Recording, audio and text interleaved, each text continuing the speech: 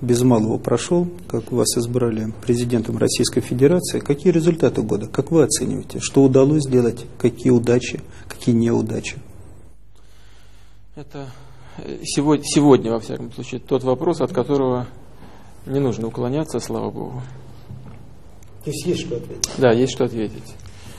А, конечно, не все сделано, что хотелось бы сделать. Может быть, не все в том качестве, в котором хотелось бы, но тем не менее а, основное, а, что планировалось, на мой взгляд, в основном решено. И э, я не стал бы сейчас мельчить, хотя много можно и хочется сказать, но сказал бы основными такими группами. Прежде всего, мне кажется, что удалось не только мне, а всем нам. Потому что это результат деятельности не только главы государства, но и э, Государственной Думы, всего Федерального собрания, региональных руководителей. Нам удалось сделать значительный шаг вперед по укреплению российской государственности. Давайте вспомним, э, в каком государстве мы недавно жили, да и, к сожалению, до сих пор еще не все проблемы в этой сфере решены, но тем не менее, давайте вспомним.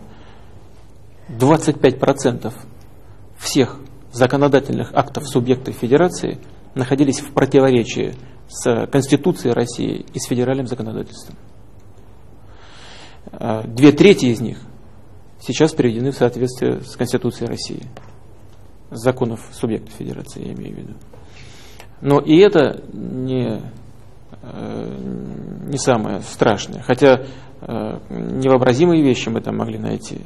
Во многих конституциях, уставах субъектов Федерации мы могли найти все, что угодно. И международную правосубъектность, чуть ли не собственные вооруженные силы. Не было только одного. То, что э, то или иное административно-территориальная единица, та или иная административно-территориальная единица является субъектом Российской Федерации. Но, повторяю, это не самое страшное. У нас не было, по сути, и единого экономического пространства, экономич... э, финансового единого пространства.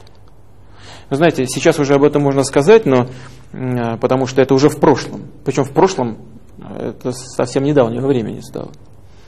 Но некоторые субъекты федерации практически не платили налогов в федеральный бюджет. А на территории а, некоторых субъектов федерации не действовало Министерство финансов Российской Федерации и Федеральное казначейство. И вот только совсем недавно мы разместили последнее учреждение Федерального казначейства на всей территории Российской Федерации. И кто стал этим последним? Ну, это произошло, это самое главное. А, и еще, что важно, что в этой, эта работа была действительно совместной. Ведь, э, понимаете, я бы сейчас не стал никого здесь не обвинять, не, не вспоминать недобрым словом. Наверное, может быть, в жизни, в истории страны такой период был необходим период какого-то очищения. Он не мог не сопровождаться определенными э, деструктивными процессами, э, центробежными процессами. Был период разбрасывания камней. Сейчас и это стало очевидным для всех том числе, повторяю, и для региональных лидеров. Все поняли, что в единстве государства наша общая сила, в этом заинтересованы все. И поэтому э, начался другой процесс, процесс э, собирания э, наших возможностей, процесс консолидации. И, на мой взгляд, это, вот это, наверное, важнейшее. На основе укрепления государственности мы сделали шаг и на пути консолидации общества. Это создало предпосылки для достижения экономических результатов. Наряду с благоприятными внешнеэкономическими параметрами, в, которыми, в которых оказалась страна, наша экономика, все-таки положительный эффект консолидации общества дал себя знать. И мы смогли, мы смогли обеспечить значительные темпы экономического роста – на сегодняшний день, вот последние, да, последние да, данные э, статистики, это на 7,8%.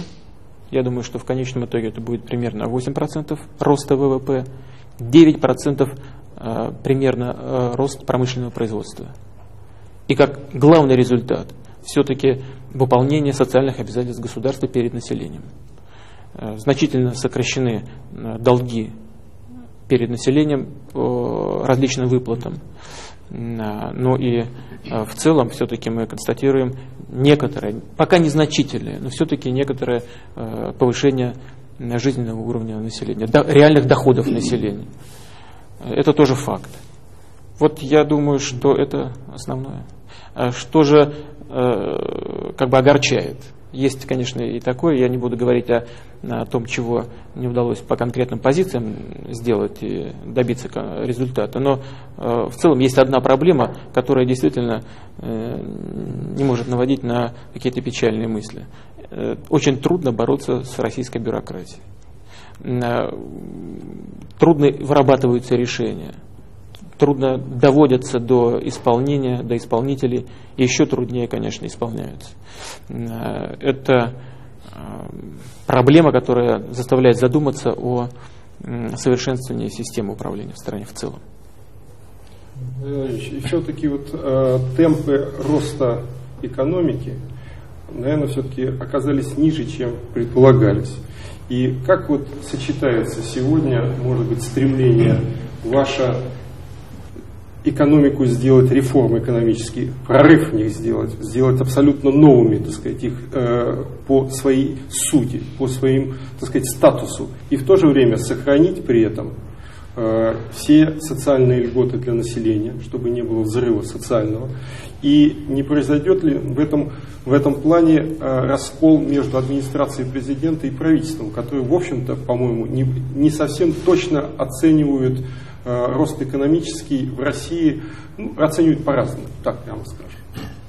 Павел Николаевич, во-первых, э, что касается ожидаемых темпов роста. Все разочарования от избыточных ожиданий. И э, я все-таки с вами не согласился бы в том, что ожидания были большего роста. Ожидания были меньшего роста. Говорили о возможном росте в 4, 5, максимум 6, с небольшим процентом. У нас он оказался почти 8. А, поэтому ожидание даже, то есть результат превысил ожидания. Ну а то, что такого, э, таких темпов роста не было за последние сколько там лет 15, это уже точно мы с вами знаем. Вот. Э, но можно ли было достичь большего? Вы знаете, наверное, можно. Здесь я тоже с вами согласен. Наверное, можно. И я чуть скажу а, попозже по поводу а, того, как это, что нам не хватило, точнее, да, чтобы достичь этих результатов а, еще больших. Но сейчас хотел бы отреагировать на, на противоречия между отдельными сотрудниками моего аппарата, администрации президента и правительства по поводу разных подходов к реформе. Вы знаете, э, ведь самое главное, это то, что и в правительстве, и в администрации люди мыслят одинаковыми категориями. У них единые стратегические цели, единые общие задачи и понимание этих задач. Есть э, разность в подходе э, к методам, к инструментам достижения этих целей. Это правда. Но, вы знаете, меня больше тревожат ситуации, когда нет спора. Вот тогда возникает действительно тревога. Э, тревога того, что мы можем совершить какую-то ошибку, э, просмотреть э, наиболее приемлемый вариант развития, либо решения какой-то конкретной задачи. Когда спор есть, это нормально. Меня это не беспокоит. Поэтому при единстве, повторяю, целей и подходов к решению общих задач, вот различия методологии мне кажется, не являются э, ну, чем-то критическим и страшным. Наоборот, это положительное явление. Э, вот э, мы сегодня обращаем внимание на то, что темпы экономического роста в конце года несколько замедлились. А, но мы знаем, что и в других странах есть такие проблемы. Возьмем Японию, там проблемы гораздо более серьезные с точки зрения темпов экономического роста. Есть негативные тенденции в экономике США, а, но, конечно, кивать на других здесь не нужно, нужно говорить, думать о себе в данной ситуации. Но это, конечно, предмет для серьезного анализа правительством экономической ситуации, предмет для обсуждения в правительстве и в администрации – предмет, может быть, для переосмысления тех инструментов, с помощью которых экономические цели достигаются. Что же касается соотношения проблем, связанных с обеспечением темпов экономического роста и социальной ситуации, то я бы, знаете, как сказал, моя позиция здесь такая. Без поддержки населения обеспечить преобразование в экономике невозможно. А поддержку населения нельзя обеспечить без выполнения социальных обязательств со стороны государства. Это все так взаимосвязано, э, что, э, что дает мне право считать любая так называемая шоковая терапия, какими, э, значит, какими бы благими пожеланиями она не обосновывалась, она чревата серьезными опасностями. Ну, что мы и видели, в за это десятилетие конечно. были периоды. Когда... Ну, конечно, конечно. А, лучшими пожеланиями вымощена дорога в ад. И после того, как э, доверие населения падает, начинается топтание на месте вообще. Так что здесь, мне кажется, очень нужно соотносить э, вот э, те самые социальные обязательства государства перед населением, о которых я упомянул, и экономические цели, которые государство перед собой ставит. Но вам достались еще и огромные долги. Вы в качестве наследства получили страну в известном положении и гигантские долги. Сейчас много говорят о таком мистическом 2003 годе, когда придется платить миллиарды. Насколько наша экономика сможет выдержать это, если говорить не просто про экономику, а про социальные обязательства перед населением. И населению надо платить, и долги надо платить. Как здесь выкручиваться? Что касается долговых обязательств России, то это серьезная проблема, это правда. А, это обременяет нашу экономику. Это тоже правда. А, я уже как-то публично высказывался на этот счет. Не думаю, что было верным решение в свое время взять на себя все долговые обязательства бывшего Советского Союза. С какой стати? Деньги-то брались всем Советским Союзом и тратились на, на все бывшие республики Союза. Почему Россия должна нести э, бремя ответственности и финансовых обязательств за всех? Значит, э, обосновывалось это так называемым нулевым вариантом. Так называемым нулевым вариантом, в рамках которого Россия брала на себя все пассивы, но к ней переходили все активы, в том числе э, так называемые пассивы, то есть э, а, активы за границей, недвижимость за границей. Какая там недвижимость, я очень хорошо знаю. Вы же занимались? Ну, я занимался, недолго, не правда, но занимался этим. Нулевая там. Но если не нулевая, я же, это неправда, да, то несопоставимая с нашими долгами, с долгами бывшего Советского Союза. А, ну и больше того, она не только несопоставима с этими долгами, но а, многие наши, некоторые, так скажем, наши партнеры а, отказываются признавать это решение, разослали ноты во все страны мира, да, и на нас эти страны отказываются переоформлять собственность. Она, мы говорим о собственности России за границей, она на нас, на нас не переоформлена. Она еще советская считается. Считается советская, считается спорной. А, а долги мы платим за всех уже сегодня. И счет идет на миллиарды. Поэтому а, не думаю, что это было решение продуманным и обоснованным. Кроме этого, нужно, конечно, посмотреть, куда деньги тратились. Вы знаете, существуют разные точки зрения по поводу э, использования э, кредитов для развития собственной экономики. В принципе, это нормальное явление сегодняшней экономической жизни. Все с удовольствием берут кредиты, вопрос только в том, как их тратят. Если они тратятся эффективно для развития экономики, это одно. Если этого не происходит, это другое. В условиях э, неурегулированности основных институтов государства рассчитывать на то, что эти деньги будут тратиться эффективно, не приходится. Не потому, что их кто-то украл, не потому, что кто-то растащил. Просто неэффективное государство не может эффективно распорядиться кредитными ресурсами. Так у нас и произошло. Ну и растащили тоже. Не, не думаю, что на самом деле много растащили. Но всегда где, во всех странах кто-то чего-то тащит. Здесь больше разговоров, чем, чем, чем э, вот этого реального растаскивания. А вот то, что неэффективно потрачено, это факт. Ну, проедание на самом деле произошло. А, но вот все это было, да? А, Россия взяла на себя эти обязательства.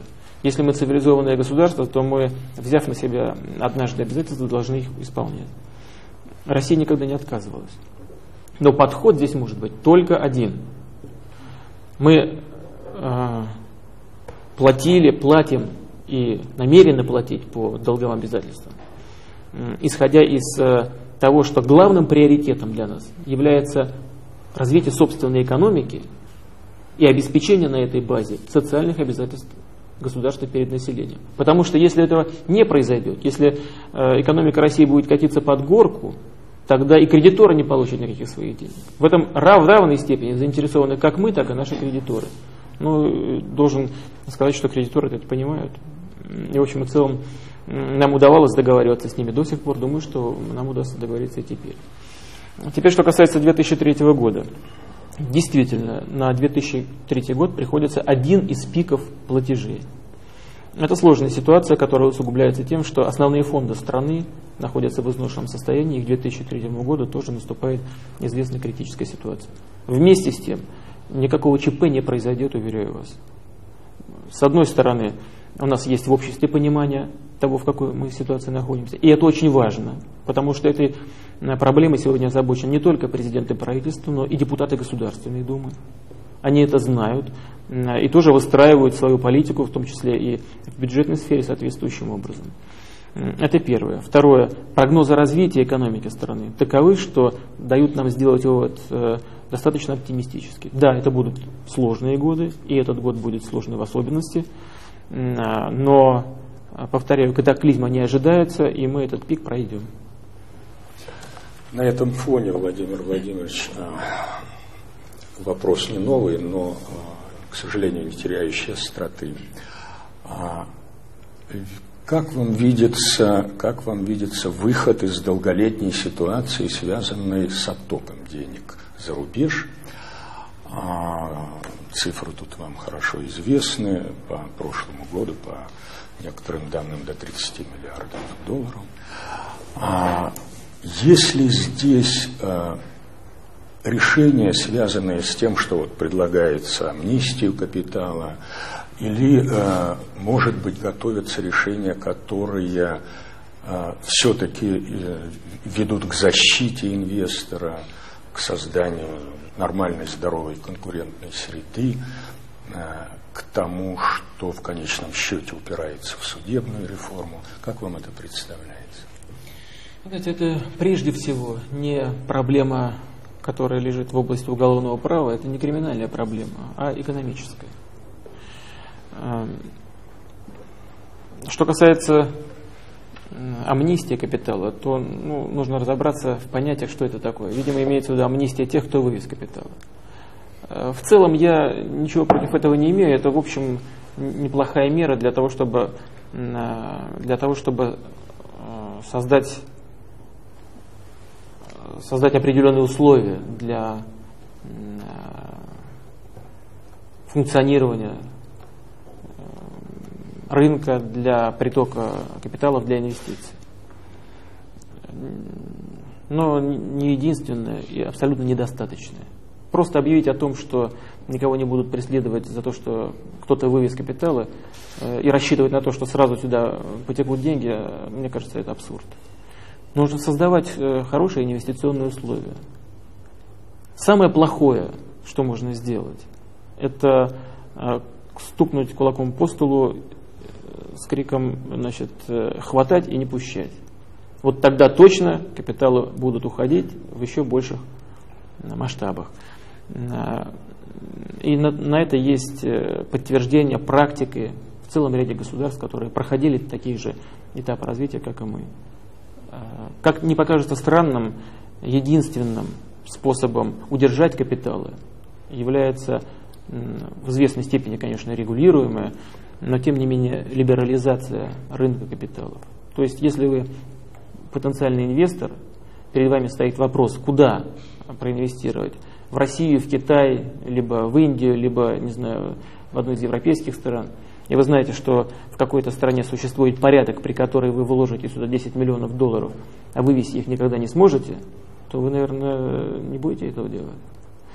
А если вы уверены в том, что вы вложенные вами деньги в экономику данной страны не только вложите, но получите прибыль и сможете распорядиться этой прибылью в соответствии с действующим в этой стране законодательством, которое вы знаете, понимаете и уверены в том, что оно будет действовать хотя бы на протяжении периода окупаемости ваших вложений.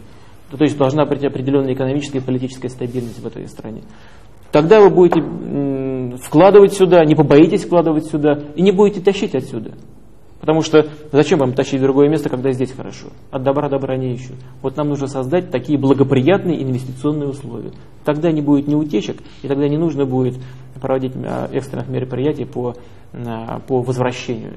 Э, никакие насильственные средства и методы по возвращению денег эффективными не будут. Нужно создавать условия для инвестиций благоприятные И э, вот вы все-таки оцениваете ситуацию как э, позитивное движение какое-то есть, так сказать, связанную с этим позитивным движением. Или пока еще, мне так кажется, сказать, больше поводов для них? Нет, мне кажется, что есть, потому что все-таки инвестиции в основной капитал у нас увеличиваются, и а, налоговая база, несмотря на то, что, скажем, вот подоходный налог мы сделали 13%, а, а поступление налогов увеличилось. Э, значит, э, мы либерализовали таможенную политику, существенным образом сократили таможенные ввозные пошлины. А э, собираемость таможенных платежей и объем собираемых платежей увеличился. То есть эффект очевидный. И это, конечно, признаки, пока еще очень мало сделано, но это первые признаки улучшения инвестиционного климата в России. А все-таки вот если дальше продолжать чуть-чуть эту тему, то э, все-таки основу экономики во всем мире, как известно, составляет мелкий и средний бизнес. У нас в России, особенно мелкий бизнес, буквально задавлен чиновниками и бандитами. Для того, чтобы открыть свое дело, свой бизнес, небольшой, нужно буквально... Чиновников поставили на первое. Да, нужно собрать до 200 бумажек всяких. А ведь каждая бумажка, это ведь, как известно, так сказать, так или иначе связано, так сказать, там. Хочешь подписывать, нет. Ну и вот, э, как по вашему мнению, вот этот вот э, беспредел бюрократический, может в какой-то степени криминальный, может быть, так сказать, приостановлен в России? Только с помощью э, принятия соответствующих законов. Другого пути нет. К сожалению, и я об этом тоже упомянул, как об одной из основных наших проблем. К сожалению, до сих пор а, не проведены были в Думу не направлены соответствующие законопроекты. Недавно только а, направлены два из них, и вот в ближайшее время а, правительство обещало мне, что буквально на следующей неделе направит третий закон, касающийся как раз Э, либерализации, дебюрократизации э, в сфере лицензирования, изменения порядка лицензирования. Э, что касается малого и среднего бизнеса, то он, конечно, в особенно, в особо тяжелом положении, действительно задавлен вот этой бюрократией. Очень надеюсь на то, что вот принимаемые, направленные в Думу и направляемые туда законы, законопроекты будут быстро приняты депутатами и начнут действовать. Не хочу никому делать рекламы, но напомнил мне об этом Хакамада, за что я очень признателен. Должен сказать, что вот после, после нашей встречи с, с группой депутатов и правительство активизировало работу в этом направлении. Вот повторяю, два законопроекта уже внесены, один будет направлен в ближайшие несколько дней. Намечен еще ряд мер по, по дебюрократизации. Ну, мы знаем все вот эти смешные примеры, когда приходит один проверяющий, говорит, надо решетку поставить, потому что воры залезут, милицейские проверяющие. Решетку поставили, приходит проверяющий из пожарной охраны, говорят, если пожар, решетка мешать будет, снимайте, и так бесконечно. Другого пути нет, кроме как законодательно отрегулировать эту сферу. А криминал? Все-таки рэкет существует в России и на государственном в чем-то уровне, и на, э, ну так скажем, самом обычном бандитском. Ну, рэкет на государственном уровне это коррупция. Да.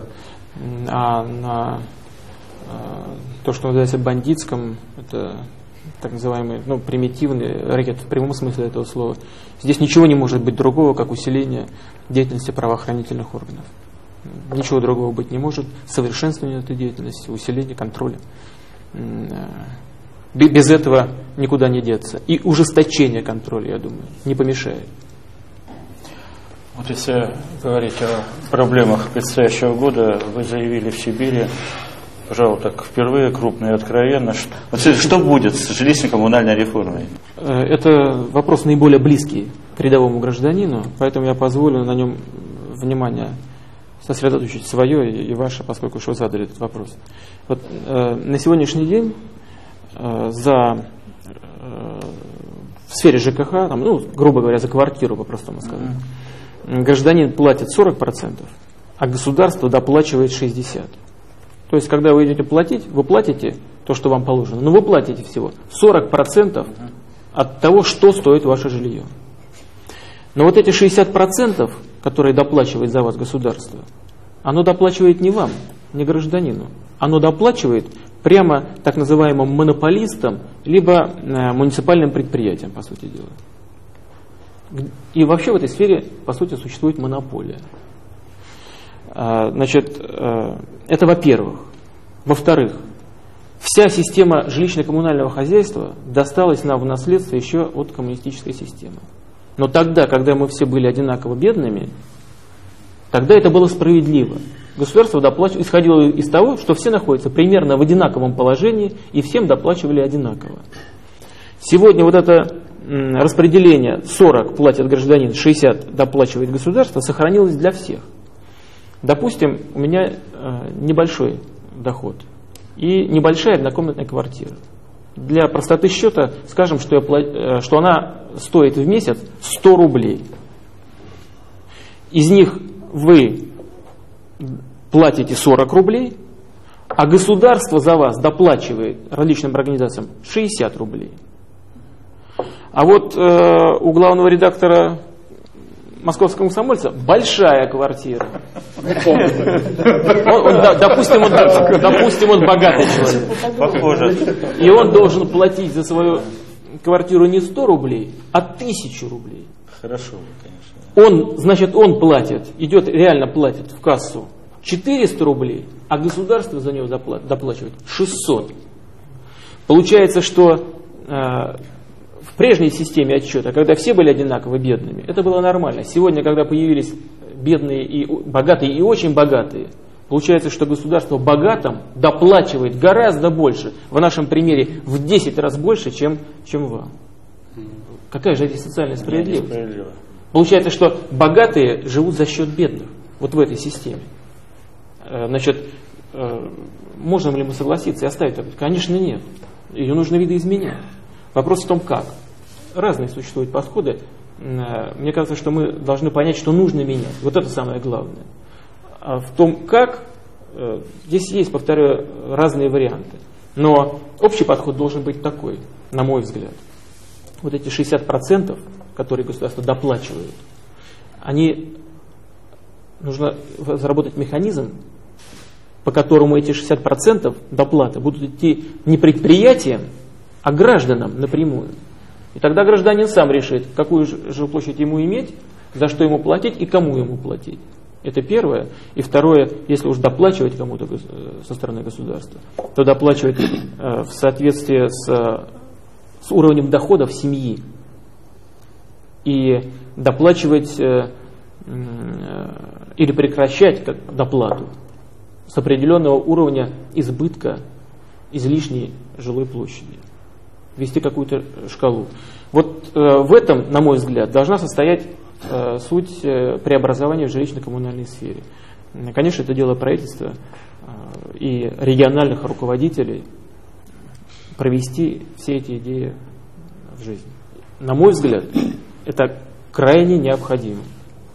Но, но и сопротивление здесь будет большое.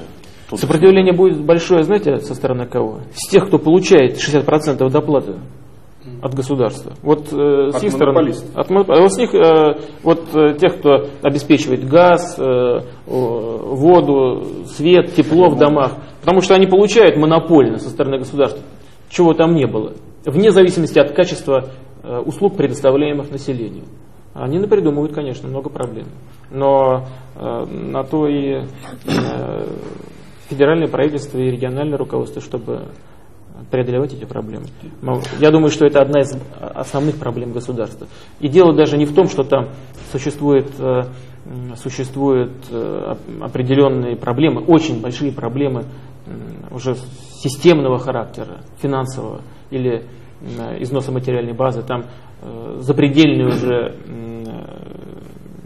обязательства финансовые между потребителями и поставщиками этих услуг дебиторка и кредиторка там зашкаливает э, астрономические цифры уже.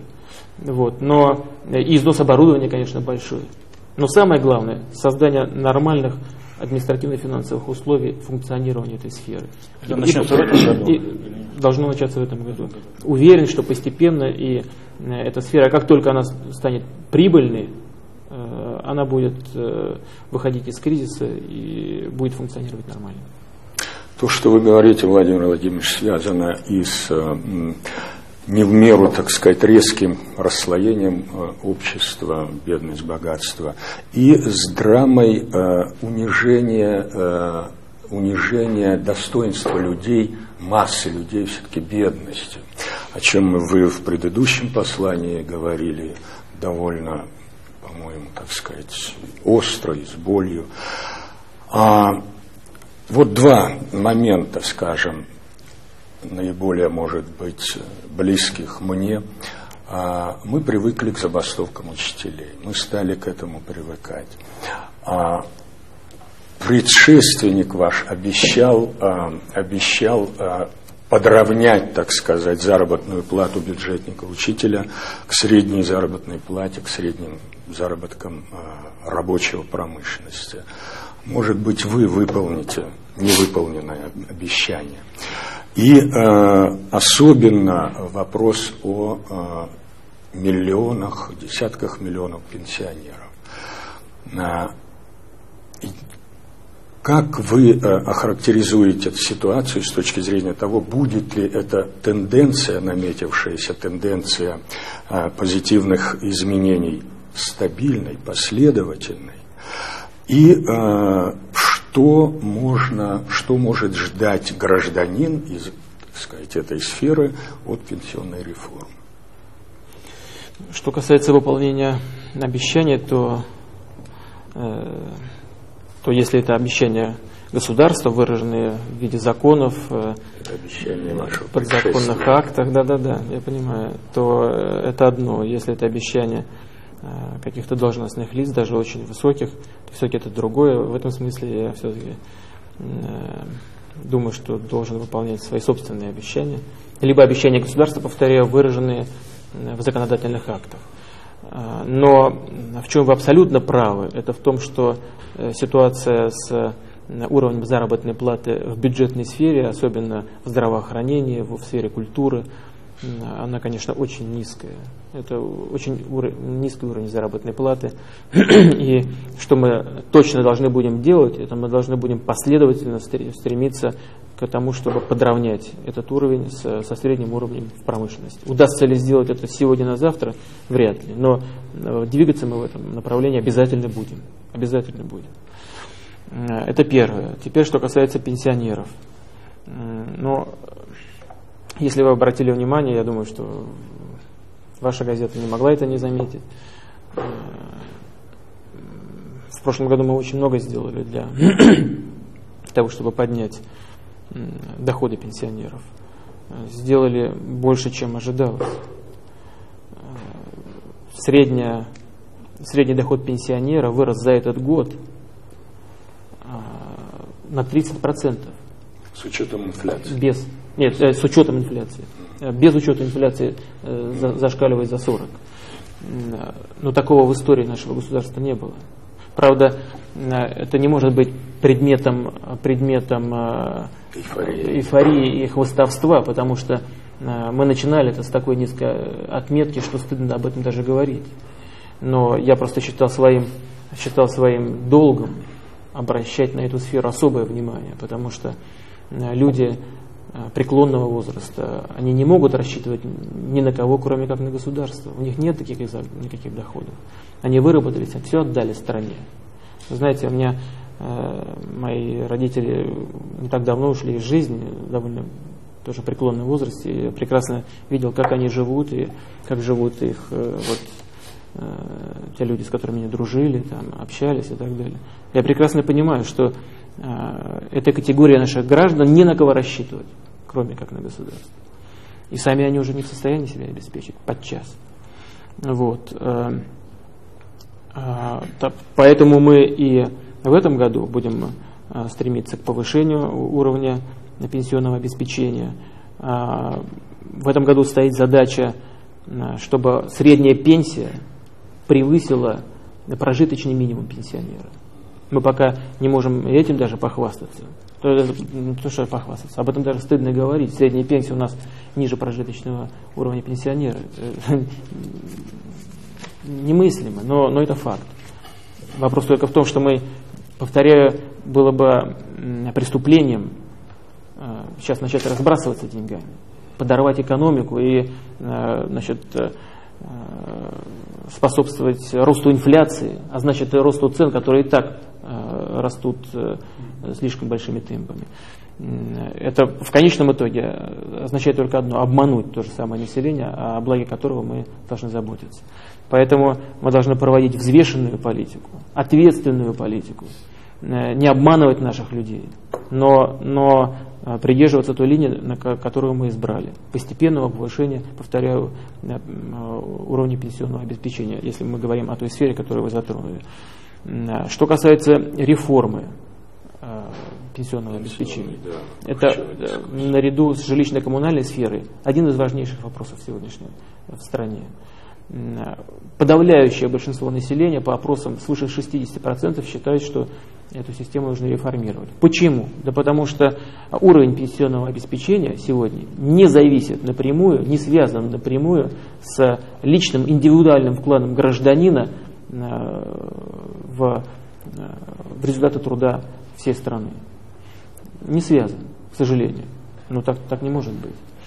Это во-первых. Во-вторых, мы должны стремиться к тому, чтобы э, ну, скажем, людей, которым до пенсии осталось не очень много лет, э, абсолютно точно гарантировать определенный уровень пенсионного обеспечения со стороны государства. А тех, кто э, может, э, имеет возможность зарабатывать на свою старость самостоятельно, дать этим людям возможность накапливать эти средства самостоятельно, и чтобы они не зависели от государства, но чтобы государство гарантировало эти, эти, эти вклады и эти накопления. Э, вот весь мировой опыт показывает, что это гораздо более эффективно и гораздо более выгодно гражданину. Вот в этом направлении примерно мы и будем двигаться. Здесь, повторяю, э, здесь тоже существует несколько подходов. Сейчас э, в правительстве идут споры по этому вопросу. Но наберемся терпения, подождем окончательного решения. Вы знаете, что я принял решение о создании Национального совета по пенсионной реформе с привлечением общественных деятелей, депутатов Государственной Думы. Э, это должно быть предметом э, самого широкого обсуждения общественностью. Все должны понимать, что предлагается государством и что последует за принимаемыми решениями. Но цель одна – обеспечить интересы рядового гражданина России. Год назад вы были у нас в редакции комсомолки на прямой линии с читателями и сказали, Большой резонанс вызвал, вызвал ваш ответ о земле, что вы спокойно относитесь к идее создания рынка земли, торговли землей. Вот что у нас в перспективе, когда все-таки начнется это, как вы думаете? Сможем создавать рынок земли? Вы знаете, уже сейчас ясно, что большое количество земли де-факто у нас находится уже в частной собственности. Отсутствие строгих э, и понятных, прозрачных правил в этой сфере мешает развитию экономики страны, мешает развитию промышленности, не только сельского хозяйства. Э, на сегодняшний день мы согласились э, с, с некоторыми партиями, общественными движениями, которые возражают против того, чтобы в земельный кодекс было внесено соответствующее правило о гражданском обороте, обороте земель сельскохозяйственного назначения. Вынесли за скобки. В качестве первого шага, я думаю, что это неплохо. Неплохо, что будет принят вообще земельный кодекс и будет разрешен легальный, законный оборот земли. Пускай на первом этапе не сельхозназначение. Что касается, э, это уже поможет развязать многие проблемы в сфере промышленности. Но что касается земель сельхозназначения, то мне кажется, что здесь мы вполне можем пойти э, по пути, по которому Россия уже однажды шла э, при проведении земельной реформы. Это создав базовый, базовый закон, базовое законодательство, создав рамочные законодательные условия, приняв эти рамочные законодательные условия для всей страны, передать э, на уровень региона определенные полномочия, касающиеся э, гражданского оборота э, сельскохозяйственных угодий. Мне представляется, что такой путь возможен. Окончательное решение, конечно, должно быть за Государственной Думой. В этой связи, насколько мы знаем, сегодня вы как раз обсуждали эти проблемы с одним из представителей этой сферы. А, один из вопросов, который э, мучит, так сказать, давно деревню, можно сказать, лихорадить это вопрос о ее громадном долге, возникшем по разным причинам, из-за диспаритета цен и так далее. И, э, как помнят селяне, значит, э, по-моему, в Краснодарском крае вы говорили на эту тему. Как вот сегодня можно говорить о какой-то более или менее обозримой перспективе, так сказать, выхода из этого, вот, из этой ямы, из этого да, это было на встрече в Краснодаре. Там мы говорили о нескольких проблемах, которые, э, которые были подняты в ходе этого совещания например, о необходимости создания агробанка. А, и должен вам сказать, что он создан. Сейчас идет формирование филиалов по стране. Сейчас формируется уставной капитал. Что же касается долгов, то да, эта проблема действительно сложная. Я знаю, что здесь э, разные мнения существуют. Кое-кто полагает, что долги нужно вычеркнуть, простить э, и забыть, что они были сформированы не, несправедливо, что государство несет ответственность за то, что они возникли и так далее, и так далее. Наверное, часть, э, часть правды в этом есть, но правда также и то, что, э, что если мы будем долги прощать, то получится, что те, кто платил, полные как бы это помягче выразиться, но не очень умные люди. Да? Э, мы не будем стимулировать таким образом финансовую дисциплину в стране. Значит, кто-то может платить, а кому-то про простят. Э, это плохо. Но факт остается фактом. Наличие этих огромных долгов выбрасывает часть предприятий, сельскохозяйственных предприятий из экономической жизни, не дает им возможность пользоваться оборотными средствами и так далее. Здесь путь только один – реструктуризация. Правительство выработало определенные правила, и сейчас они будут совершенствоваться. Мы думаем об этом направлении.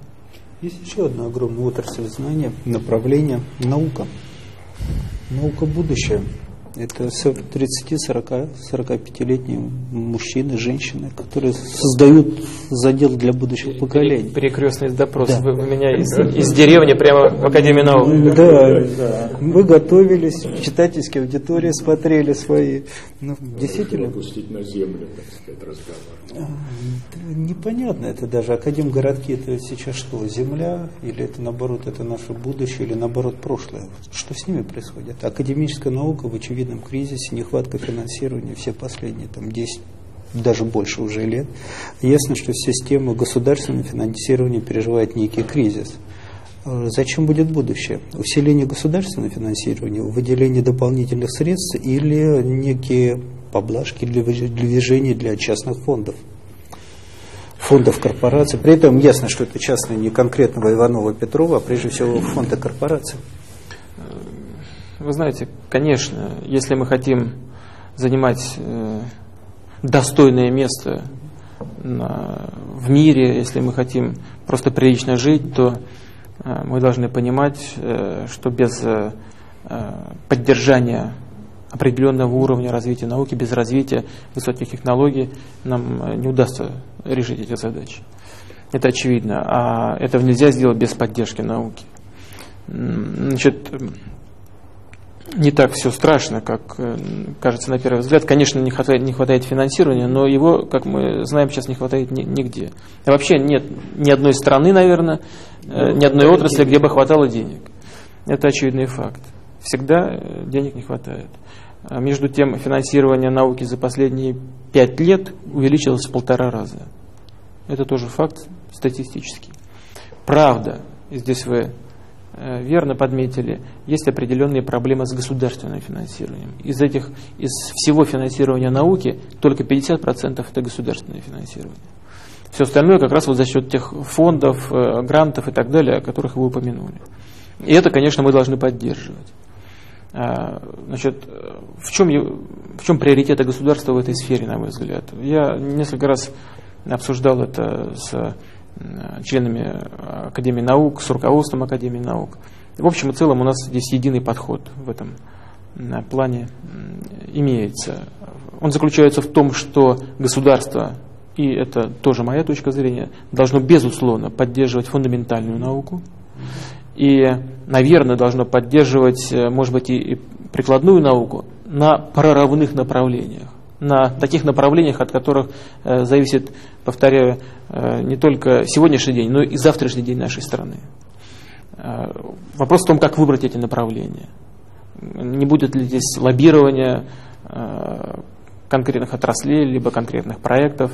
Вот для того, чтобы избежать этого лоббирования, для того, чтобы подход был именно государственным, э, сейчас создается совет по науке при президенте, и одной из задач этого совета будет как раз выбрать их приоритетных направлений. Ну и, наконец, третье, мы должны будем поддержать, когда я говорю мы, имею в виду государство в целом, должны будем поддержать, э, обеспечить необходимые условия для прикладной науки, условия, в которых она могла бы быть эффективной и самодостаточной, могла бы работать с прибылью.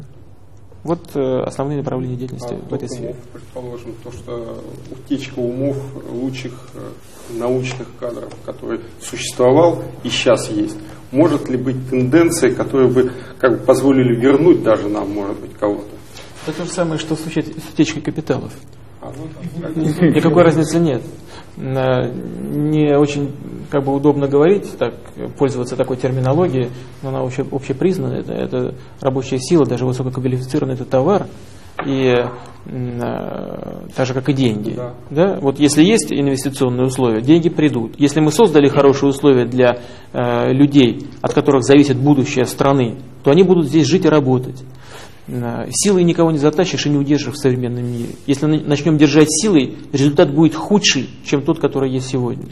Э, поэтому, и вот это очень важно. Я даже вам благодарен за то, что вы задали этот вопрос. Мы все вообще от рядового гражданина и до президента должны понять, что общество должно платить э, тем людям, труд которых дорого стоит. Или мы будем им платить, и они будут у нас работать. И от этого мы все выиграем в конечном итоге. Это будет незримый выигрыш, может быть, для каждого конкретного человека, но он будет очевидным. Либо мы будем скупердяйничать и будем э, приравнивать их э, к какой-то тарифной сетке, так, которая не отвечает сегодняшним реалиям. И тогда у нас не будет тех людей, от которых зависит будущее наших детей. Вот мы все это должны понять. И сделать однажды для себя это открытие. А за этим открытием должны последовать соответствующие решения и на уровне правительства, и на уровне Государственной Думы. Владимир а, ну вот год прошел после вашего избрания, и тем не менее ваш рейтинг необычайно высок, планка его.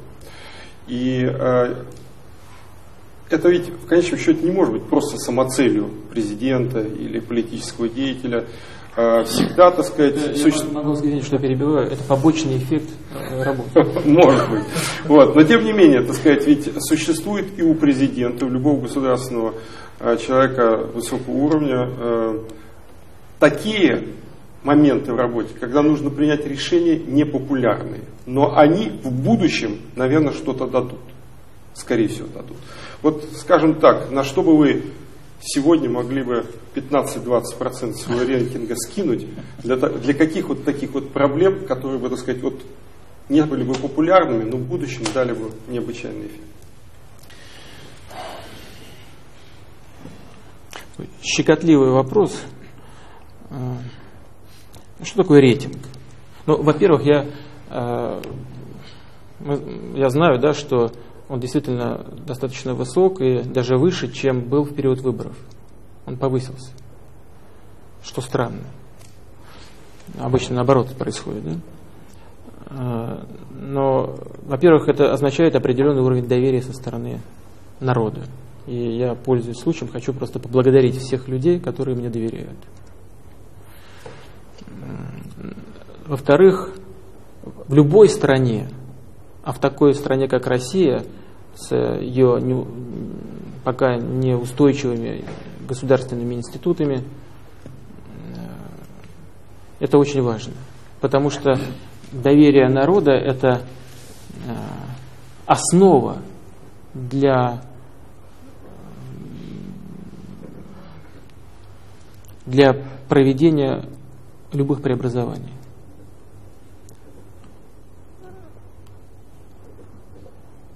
И должен вам сказать, что я, эти, я этим очень дорожу. Именно в силу того, что не, не потому, что это мне доставляет просто личное удовольствие, удовольствие или наслаждение от понимания того, что это рейтинг высокий, а потому что я понимаю, что это дает возможность, что это важнейший инструмент в работе. Это дает возможность проводить какие-то законы, проводить какие-то решения, чувствовать себя уверенно. Поэтому разбрасываться э, какими-то процентами, тем более э, такими крупными пакетами, как вы назвали, я не собираюсь. Э, но вы знаете, что вот мне кажется важным? Конечно, меня, э, так же как любого человека, которого избирают, избирают не для того, чтобы любоваться, а ожидают определенного эффекта в работе.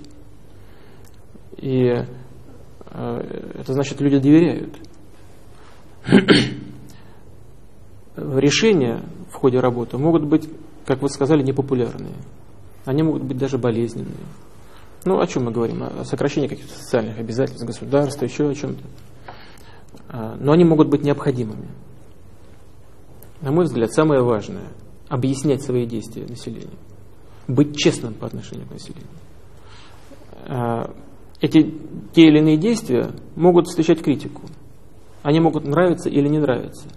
С ними кто-то может согласиться, а кто-то может не согласиться. Но а, если вести себя подобным образом, открыто и честно, то не пропадет главное – доверие к этому политику. И тогда не нужно будет э, бояться потери каких-то процентов, а, потому что приходит другое чувство. Э, чувство выполненного долга перед людьми, которые тебя избрали. Вот я буду ориентироваться на эти ценности.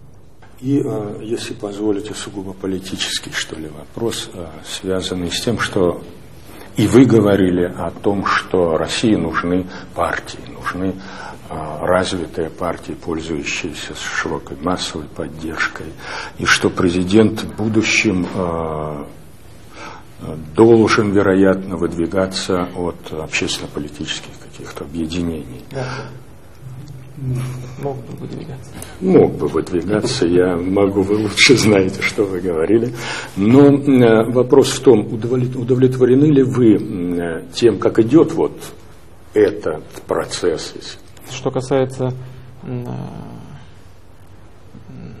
роста влияния партий, их становления, общенациональных партий. Я думаю, что это очень важная составляющая укрепления и государства, и общества. Думаю, что если мы придем к такой ситуации, когда действительно в стране будет несколько общенациональных, крупных, влиятельных партий, то действительно можно было бы и было бы целесообразно перейти э, к системе, при которой именно эти именно эти партии выдвигают кандидатов на высшие должности в стране. На, на данный момент, на данный момент, э, я думаю, что все-таки глава государства должен представлять интересы всего общества. Хотя, еще раз э, скажу, выдвигаться, выдвигаться можно было бы и от какой-то политической партии. Но мы с вами знаем, что только что э, в Думе обсуждался э, закон о, о партиях. Нужно, чтобы все это заработало в жизни. Значит, когда это станет фактом, когда эти партии действительно будут таковыми в реалии, в жизни, тогда можно будет на практике перейти к той системе, о которой вы сказали. Мне кажется, что это вполне возможно. Данил Владимирович, еще полити... если, если мы перешли к политике. Ключевая роль сейчас отводится в системе полномочных представителей президента, семи округам, или Совет Федерации, это теперь уже структура, уходящая в прошлое, нас ждет ну, реорганизация всего законодательного собрания. Совет Федерации это верхняя палата, и законом прописаны определенные э, функции этой верхней палаты. Конечно, э, как бы основные страсти кипят в Нижней Палате, в Государственной Думе у нас. Поэтому я, может быть, чаще и упоминал о ней. Но Совет Федерации, на мой взгляд, на мой взгляд, сегодня, э, собственно говоря, это очевидный факт. Он становится профессиональным. Если э, до недавнего времени подавляющее большинство членов Совета Федерации работали время от времени и выполняли огромные сложные функции по руководству своими регионами, то сегодня Совет Федерации становится профессиональным. И я думаю, что качество работы Совета Федерации, именно как законодательного органа, безусловно, улучшится. Безусловно, улучшится. Что же касается постоянных представителей президента, полномочных представителей президента в регионах, мне кажется, что мы поступили правильно. Э, я уверен, что решение о создании семи федеральных округов э, было обоснованным и дает свои положительные результаты. Э, уже говорил несколько раз, могу повторить только еще один. Их задача не руководство регионами, а регулирование и координация действий федеральных органов власти и управления на местах. Э, вот э, это их основная задача. Ну и сейчас вместе с, э, вместе с региональными лидерами перед ними стоит другая не менее важная задача – это разграничение, работа на, по разграничению полномочий между федеральным центром и регионами. Так что никакое, никакого принижения роли Совета Федерации нет и быть не может, потому что это, эти прерогативы обозначены в законе. Ну а что касается региональных э, руководителей, вы знаете, э, чтобы не утратить, э, наоборот, приблизить их проблемам федерального центра, был создан Государственный совет, и, на мой взгляд, как орган такого стратегического планирования, он себя вполне оправдывает. Для меня это очень большое подспорье в работе, это такое чистилище для правительства, сито для принятия взвешенных государственных решений, и я думаю, что вот э, у нас начинает функционировать достаточно эффективно вся система э, государственных органов власти и управления. От Совета Федерации опять к Думе. Э, как бы вы прокомментировали, может быть, свое отношение к ситуации, которая возникла как некое воспаление, так сказать, в Думе, инициированное коммунистами э, постановка вопроса о доверии, о недоверии правительству. И э, как вы, как президент, относитесь к Думе, правительству? Устраивает ли вас нынче Дума, вот ситуация в парламенте, в Нижней Палате? И устраивает ли вас правительство вот, нынешнее? А что касается вопроса э, инициированного фракция КПРФ по поводу недоверия правительству. Думаю, что такая постановка вопроса не имела под собой э, никаких реальных оснований. Она не вытекала из, э, ни из э, политической ситуации, ни из экономической ситуации в стране.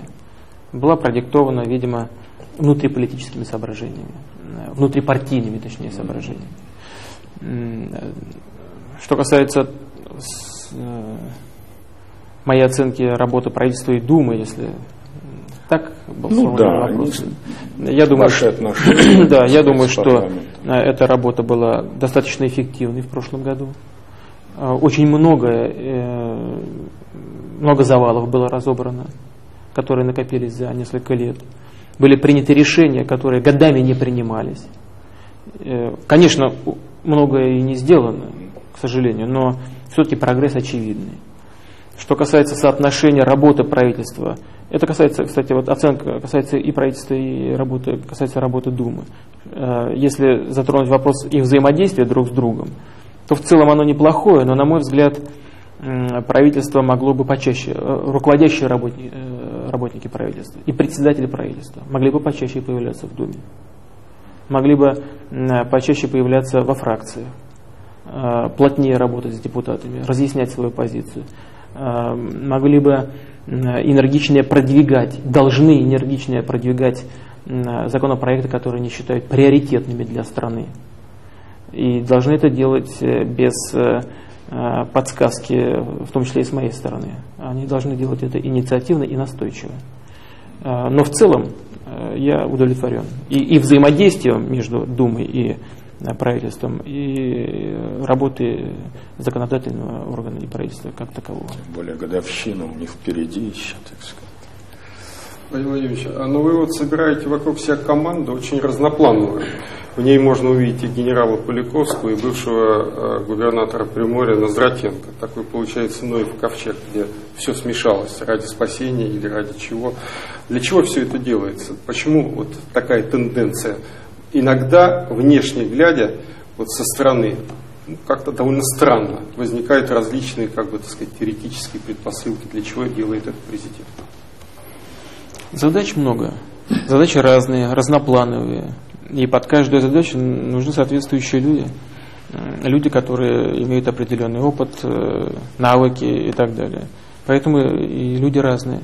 Но в вашем вопросе есть определенный подтекст, связанный с бывшим губернатором Приморья и с моим э, полномочным представителем в этом регионе.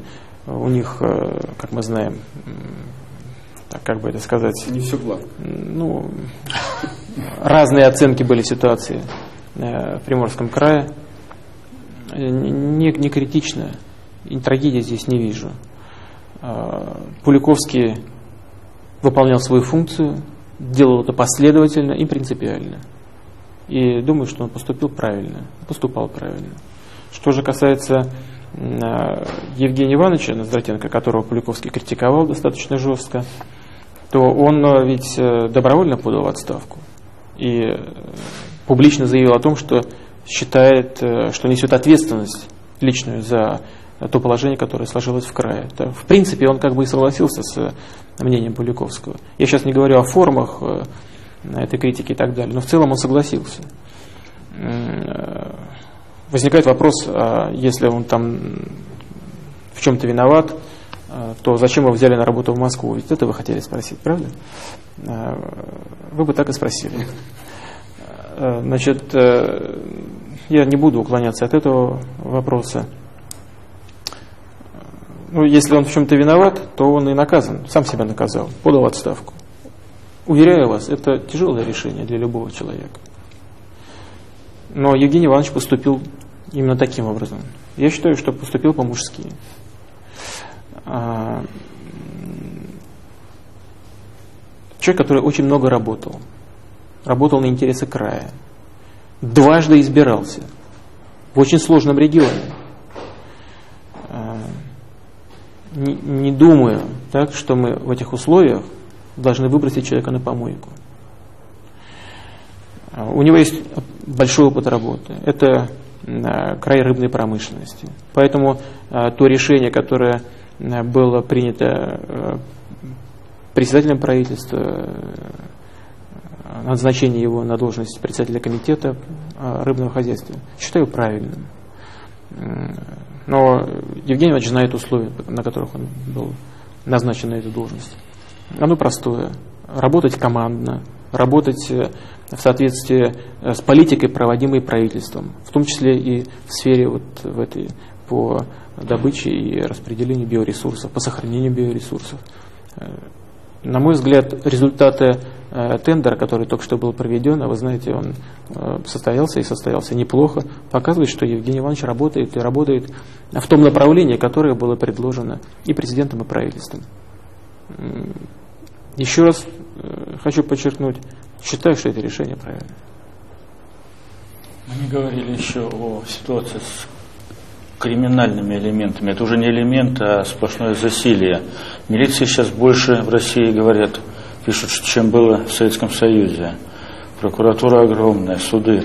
Вот на что надеяться населению или обществу, или просто людям, гражданам в плане защиты себя? Потому что кроме э, Березовского и Гусинского, ну, мы, наверное, сами виноваты, как СМИ, только о них и пишем. Громкие дела возникают, стрельба идет.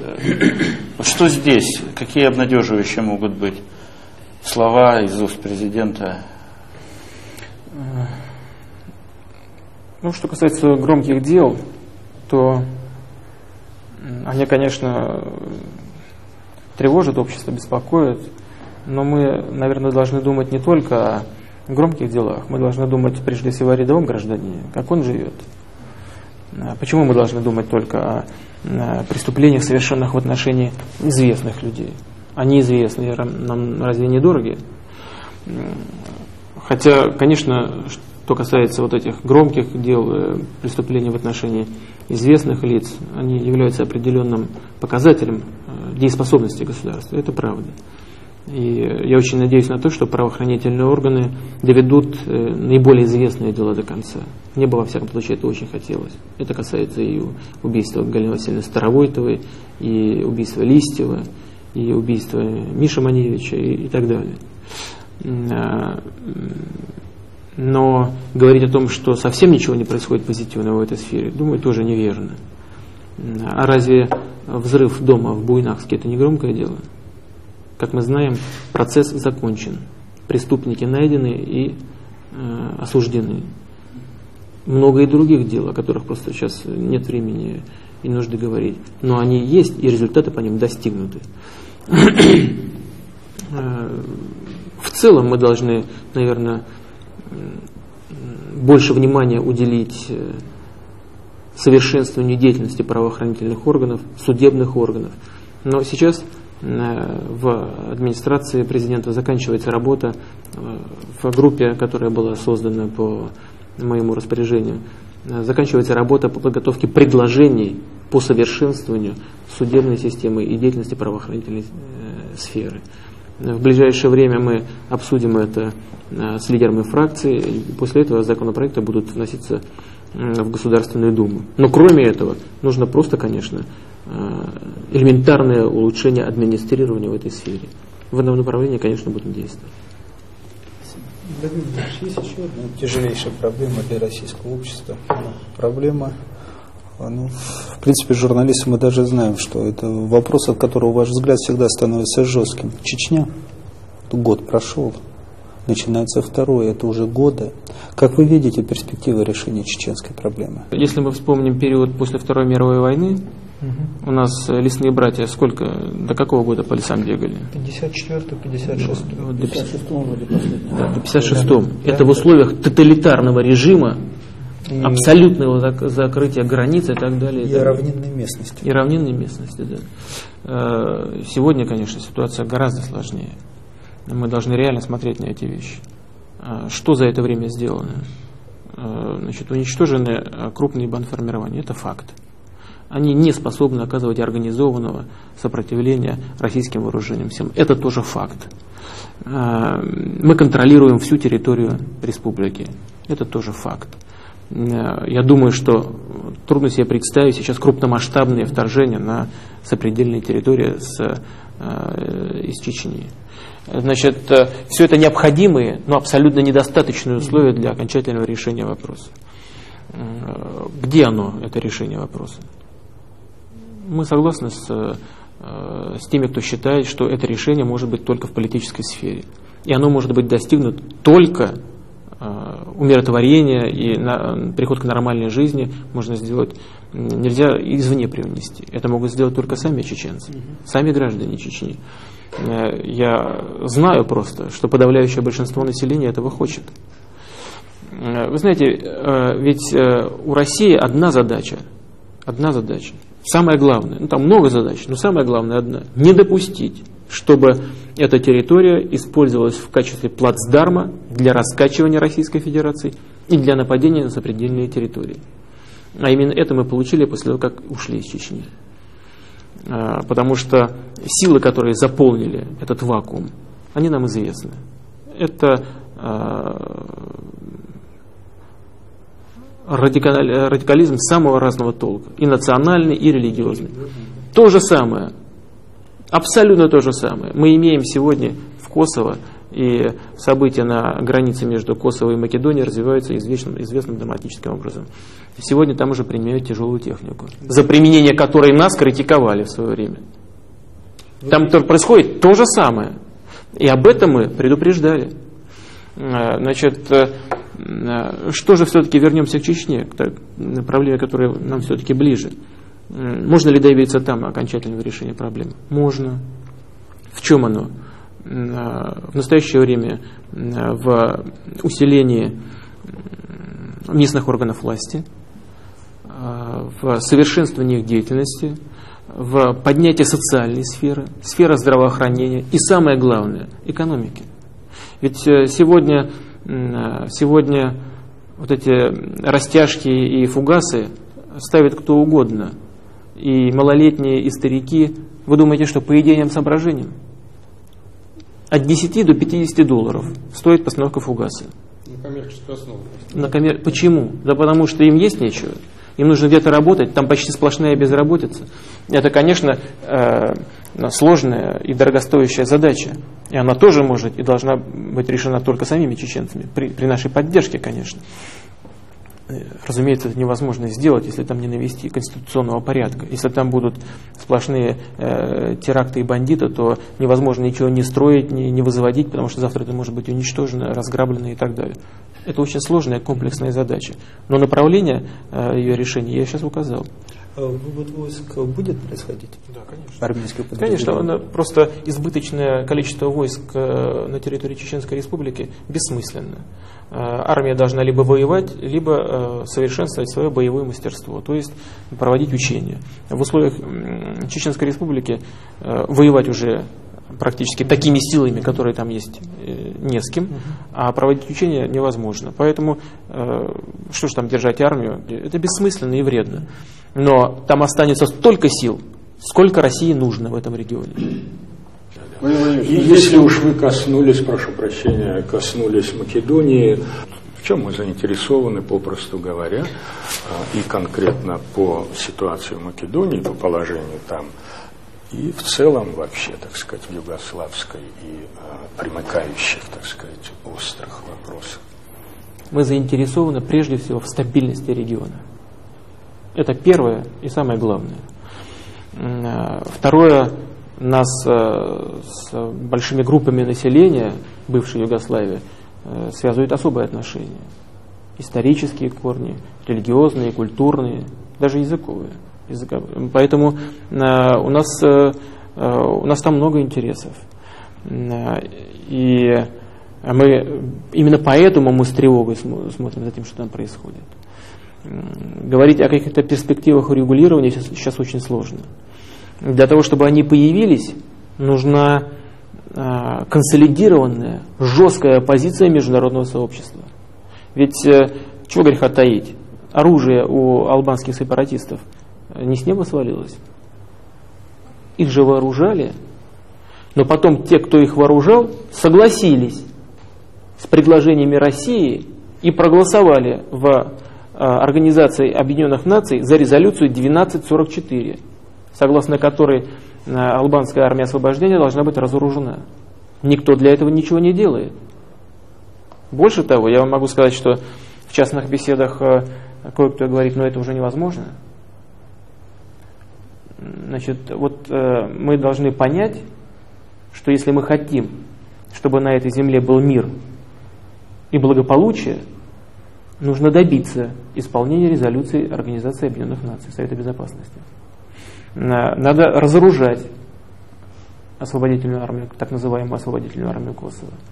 Нужно обеспечить территориальную целостность Югославии и Македонии. Нельзя позволить сепаратизму развиваться в Европе. Иначе, э, иначе эту часть Европы не ждет ничего хорошего. Ну, э, вы понимаете, кто же э, в нестабильный регион будет вкладывать ресурсы, какие-то средства. Вообще это очень плохо отражается и на, на, на имидже Европы, на экономической ситуации. Понижает курс евро и так далее, и так далее. Мы всегда занимали последовательную, ясную позицию по этому вопросу. И практика показывает, практика развития событий нам показывает, что Россия была права. И с этим трудно не согласиться. Но мы не считаем, что мы сейчас должны всем, значит, э, э, извините за мавитон, тыкать в глаза нашей правотой. И говорить, вот мы так, а вот вы ошибались, и мы теперь с вами играть не будем. Конечно, мы не должны и не будем себя так вести. Но мы будем стараться консолидировать общественное мнение по этому вопросу.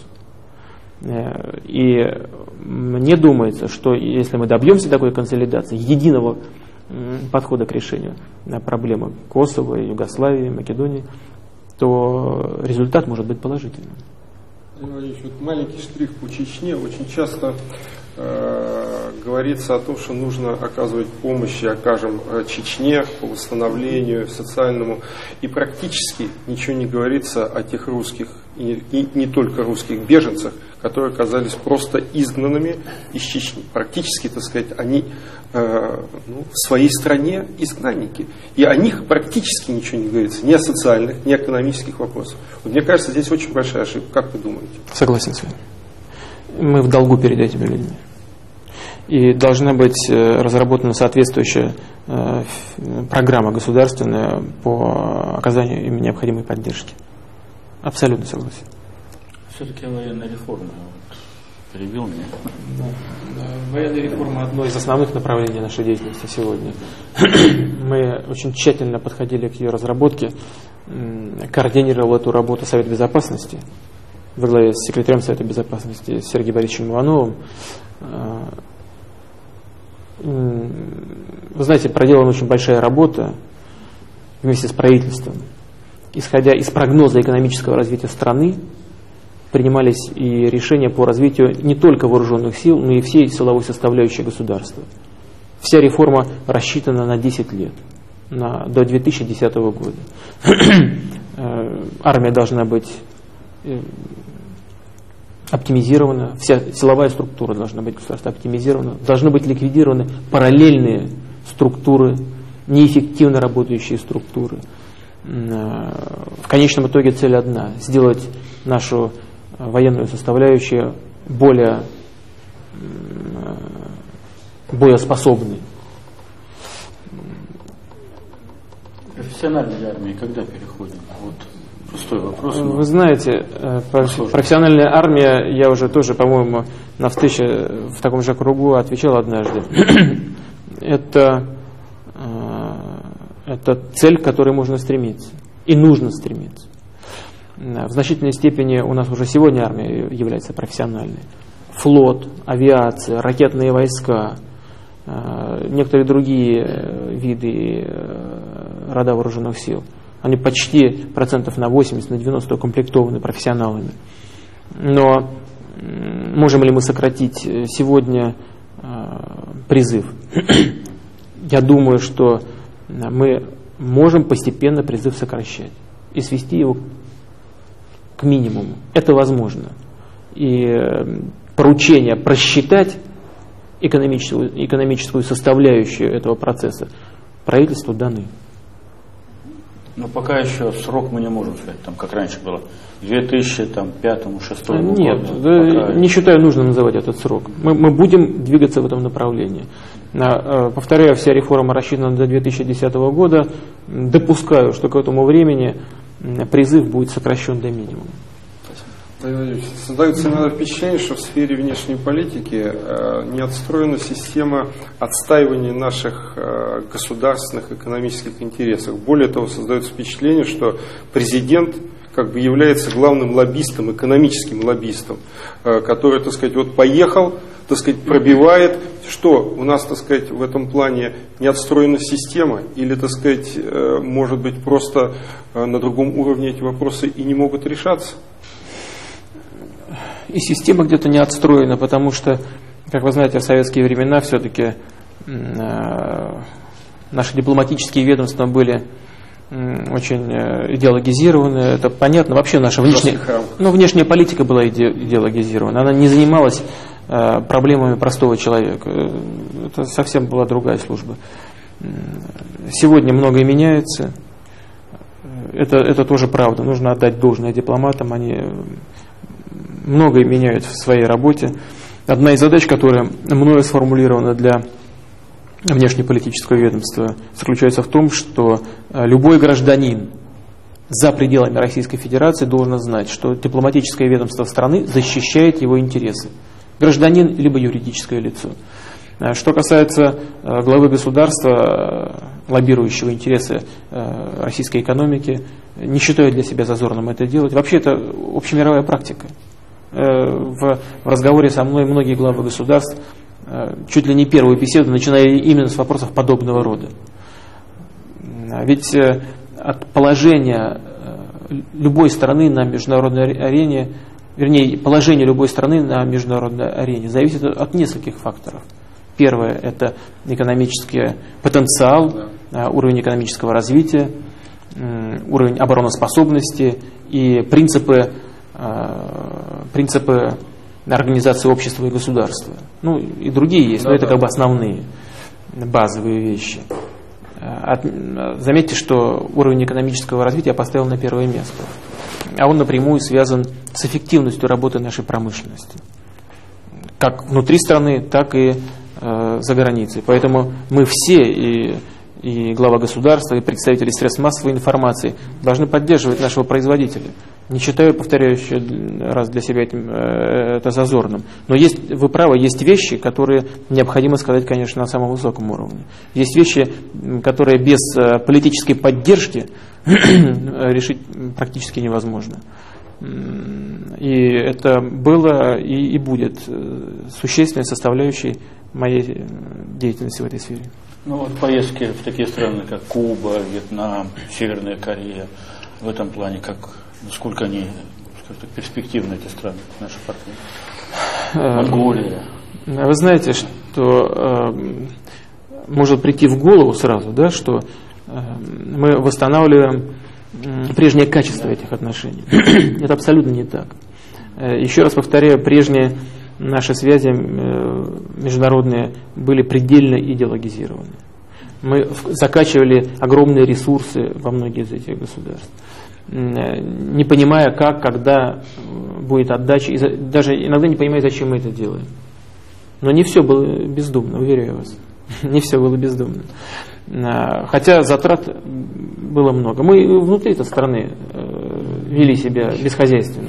Вот я помогал в Мозамбике комсомол создавать, поэтому ну, знаю, Знаете хорошо. Вот потратил наши деньги. Да.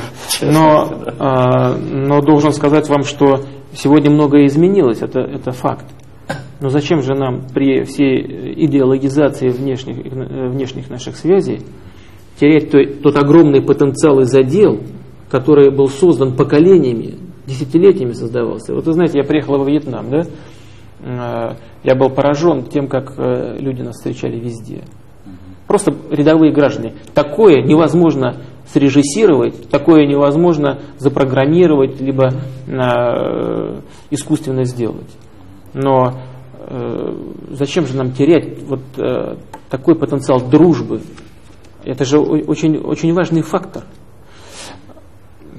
Но я уже не говорю о том, что э, вот э, мы забыли про, про Вьетнам, да, а там действует наше предприятие э, на шельфе, на шельфе э, добывает нефть. В прошлом году живых денег это предприятие принесло в бюджет Российской Федерации 500 миллионов долларов. Значит, э, перед э, моим визитом туда правительство Вьетнама приняло решение, этому предприятию дополнительно передало участок, нефтеносный участок на шельфе, который раньше был получен другой компанией. У нее забрали, а отдали нашему предприятию. Есть и другие составляющие, очень важные для нас. Возьмем, возьмем Кубу. Казалось бы, так далеко, да? Но мы только в прошлом году, у нас там замороженных объектов на миллиарды долларов. Мы только в прошлом году на консервацию атомной недостроенной электростанции затратили 30 миллионов долларов. Ну что же, мы так и будем по 30 миллионов долларов на консервацию тратить? Нам нужно в конце концов определиться, что мы будем делать с этими объектами. А, и, и так практически по каждой стране. Или возьмем Северную Корею. Во-первых, это наш сосед. Мы кровно заинтересованы в том, чтобы на, на полуострове э, был стабильность, была стабильность, мир и порядок, процветание. От этого зависит прилегающая э, регион Российской Федерации. Но даже не только прилегающие. Вот мы сейчас договорились с Южной Кореей, в принципе, с Северной Кореей, о э, соединении транскорейской и транссибирской магистрали. Это же существенным образом э, улучшает, э, может улучшить и экономические показатели МПС, и регионов, по которым проходит э, Транссибирская магистраль. Да и вообще, в принципе, будет способствовать развитию, экономическому развитию России.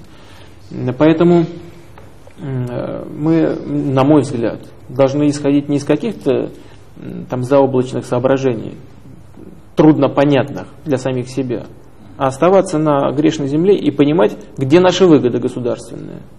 И действовать, исходя из этих соображений. А она там есть. Об отношениях с Соединенными Штатами.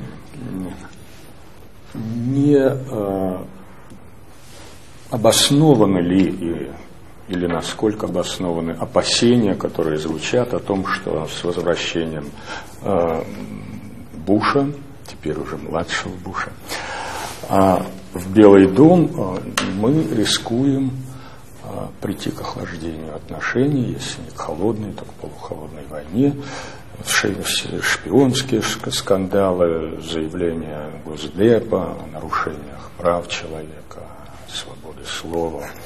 У нас а, сюжеты, связанные с продвижением, стремлением продвижения НАТО на восток и так далее.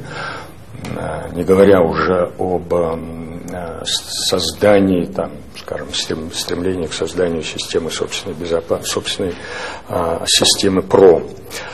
А, как вы а, перспективу оцениваете и как, а, на ваш взгляд, а, может выглядеть эта ситуация в близком и более отдаленном будущем? Насколько обоснованы эти опасения? Россия будет проводить внешнюю политику, лишенную всякого великодержавного шовинизма. Э, мы настроены на развитие равноправных отношений со всеми государствами мира. Но, разумеется, э, Россия будет проводить независимую политику и будет занимать то место, которое надо занимать по праву в международных делах, учитывая и э, геополитическое положение, и территорию, и военный потенциал, и экономический. Одним из основных партнеров для нас, конечно, являются, являются Соединенные Штаты. Что касается политики новой администрации в отношении России и наших взаимоотношений с Соединенными Штатами, то, я думаю, не стоит ничего драматизировать. Всегда в любой стране, и Штаты в этом смысле не исключение, когда приходит новая администрация, происходит переосмысление политики предыдущих хозяев Белого дома. Мы слышим какие-то критические оценки, прежде всего в адрес прежней администрации. Но, повторю, я бы не стал ничего драматизировать. У нас есть расхождения по некоторым э, аспектам международной жизни, важнейшим, прежде всего в сфере безопасности. Это касается наших оценок договора о противоракетной обороне 1972 года. Мы э, считаем, считали, продолжаем считать, что Сам договор, его основополагающие элементы этого договора являются именно краеугольным камнем современной международной безопасности. Мы на этом будем настаивать, но мы рассчитываем на очень позитивный диалог с нашими американскими партнерами. То обстоятельство, что глава администрации, президент Соединенных Штатов недавно заявил, э, что Россия не является ни врагом, ни противником Соединенных Штатов, мне кажется, что это очень позитивный сигнал. Мы его услышали. Мы относимся к Штатам таким же образом. Повторяю еще раз, рассчитываем на э, позитивный диалог. А вы когда встретитесь с президентом, уже знаете? У нас э, диалог не прерывается с администрацией, что очень важно. Не прерывается. Э, личная встреча, конечно, состоится, но она должна быть хорошо подготовлена. А если переходить к более близкому зарубежью, перспективы СНГ, наших соседних государств и взаимоотношения России с ними, может быть, в частности, прежде всего с Украиной, где происходят очень сложные неоднозначные процессы, и пересекающийся вопрос эм, русскоязычного населения в этих странах, в этих государствах.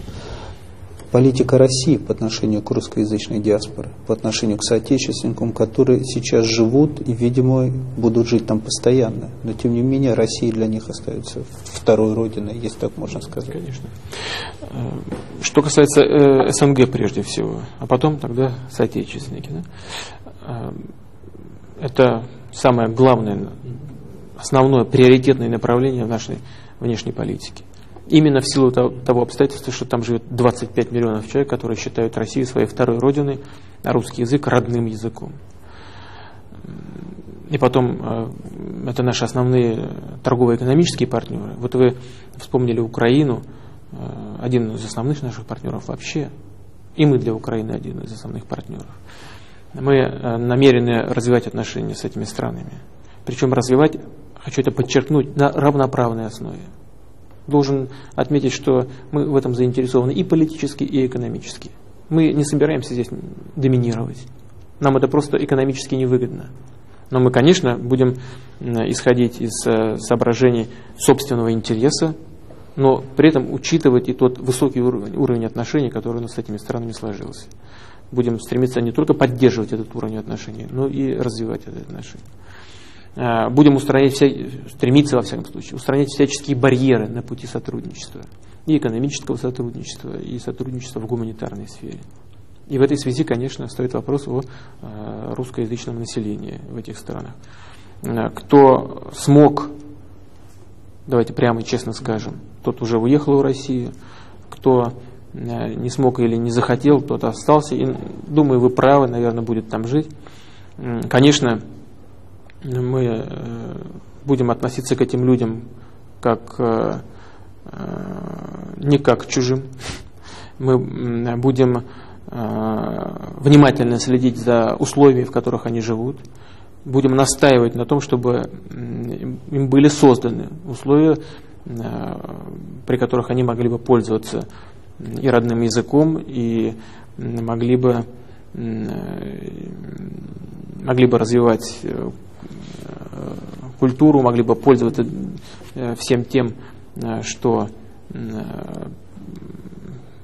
предоставляет Россия и наше совместное прошлое, но кроме стран СНГ, наверное, нужно вспомнить еще и Балтию. Там мы знаем, в некоторых из этих стран особо сложные отношения э, с русскоязычным населением. Там даже появился такой термин, э, придуманный и изобретенный там на месте, не граждане. В Латвии таких неграждан 600 тысяч. Это нас очень тревожит, нас очень беспокоит. Мы будем, повторяю, настаивать на соблюдении их законных прав и интересов. Но хотелось бы отметить, что мне представляется, в интересах же наших сограждан там, чтобы мы не, не шли по пути конфронтации. Все-таки эти проблемы, эти вопросы э, должны решаться в ходе диалога, в ходе э, обсуждения проблем, э, в ходе совместного поиска решения этих проблем. Вот это, этот период такой, давайте честно скажем, националистической волны, он Он уже, по-моему, он, абсолютно точно, абсолютно точно, совершенно верно. Он все равно будет уступать место собственным прагматическим, прежде всего экономическим интересам. А эти интересы в значительной степени связаны с Россией. Я думаю, что нам не нужно не жечь мостов, не создавать каких-то барьеров непреодолимых. Нужно терпеливо, настойчиво, но последовательно защищать интересы, но делать это, повторяю еще раз, цивилизованно в процессе диалога. Мы сегодня очень много говорили о перспективах, ну и о многих положительных явлениях, которые произошли за этот год. Но все-таки ведь были и неудачи, были трагедии, была гибель Курска и многое другое. Вот все-таки ваше личное и отношения, и как вы лично переживали все это дело? Ну, вы знаете, некоторые вещи, э, такие, скажем, как трагедия с Курском, э, я не предпринимал, к сожалению, это это фатальное стечение каких-то обстоятельств, которые нам до сих пор неизвестны. К сожалению, от меня это не зависело. Это, думаю, что всем понятно. Вот. Насчет того, что насколько я глубоко это переживаю, да, очень глубоко переживаю. Рабочий день сколько сейчас у вас? Ну, большой рабочий день. Где-то он начинается часов в 9, в 10, заканчивается часов в 11, э, в 12 ночи. И самый тяжелый период, это ближе к вечеру? По такому напряжению? Нет, нет особо тяжелых периодов. Достаточно ровно распределено, э, распределено рабочее время, потому что в течение дня я делаю небольшой перерыв для занятий спортом. Ходят слухи, что вы еще для разрядки английский язык ускоренно продвигаете. Не ускоренно. Это как бы тоже один из э, вариантов отдыха. Как занятие спортом в течение там, 30 минут, так и занятие языком. Это даже не изучение, а скорее просто э, другой вид деятельности для того, чтобы немножко э, отвлечь, отвлечь себя от текущих проблем. Вообще за этот год вы э, вот, в порядке самооценки говоря, э, изменились? Вот чувствуете, что вы сам изменились за это время, поскольку, так сказать, президентское? Конечно. Стал добрее. Серьезно? Ну, по-моему, такое обилие обязанностей должно как-то ожесточать человека. Должно мобилизовывать. Мобилизовывать. Это, это, это разные вещи. Разные вещи. Вот э, годовщина... Просто вот, да. на, на таком уровне ответственности э, ярче должно проявляться качество, которое, на мой взгляд, является определяющим. Э, терпимость. Вы знаете, страна у нас не только очень большая по территории, она очень красивая. Она э, красива не только своими природными богатствами, она, конечно, в первую очередь и это самое главное наше достояние, она красива людьми. У нас, я ведь много езжу по стране, я могу это с полной определенностью сказать. У нас люди очень открытые, особенно э, в провинции, в регионах. Э, очень, очень светлые люди. И, конечно, быть главой такого государства – это огромная честь. Именно поэтому я и ответил на ваш вопрос именно таким образом. Это только отчасти шутка. На самом деле, действительно, люди очень разные, разные взгляды. Нужно уметь уважать э, партнеров э, вне зависимости от того, нравится вам э, позиция того или другого человека или нет. Почти всегда есть рациональное зерно в позиции партнера по решению какой-то проблемы. Поэтому, наверное, все-таки действительно одним из главных, одной из главных составляющих в работе является терпимость. Первая годовщина – это все-таки праздник для вас? Рюмку поднимаете или нет по этому поводу? Мы-то за вас подымем. Да вот если бы вы не сказали, наверное... И не подняли? Не, не поднял бы. Теперь придется.